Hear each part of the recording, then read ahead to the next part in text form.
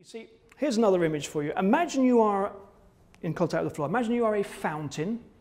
Water comes up through the pipes and it explodes out of here. Now, the second you do something like this, something like this, or something like this, what you're basically doing is you're blocking your pipes. And you have a choice of one of two things to do then. Either you have to, which is the most natural thing, you have to turn the volume down nice and neutral so you can carry on standing like this comfortably, but that means your voice will go very, very bland and everyone will fall asleep. Or uh, you have to start doing weird stuff.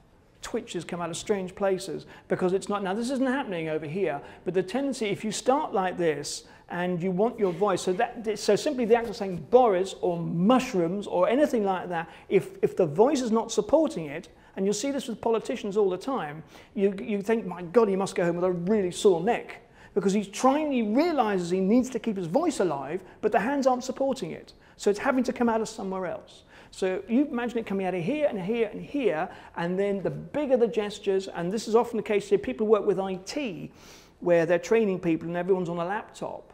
Well, if you want to kill your voice completely, even better than holding notes, sit down, look at a screen, type, and then start talking to people at the same time. It will kill your voice completely.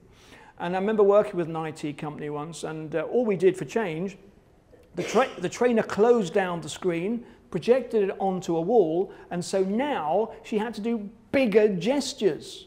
Yeah? So when you open this file, this menu will drop down, this comes across here. Now, because she had to do a bigger, the voice then became bigger as well.